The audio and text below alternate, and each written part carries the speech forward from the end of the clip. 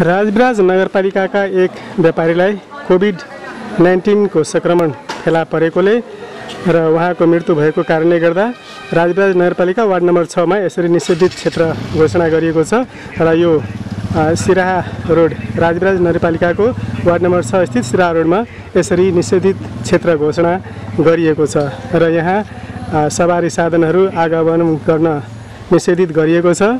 र केही मानिसहरू भने फाटोफुटो रूपमा यस निषेधित क्षेत्रलाई केही मानिसहरू भने यस निषेधित क्षेत्रलाई उल्लङ्घन गरेर आगमन गरिरहेको अवस्था छ।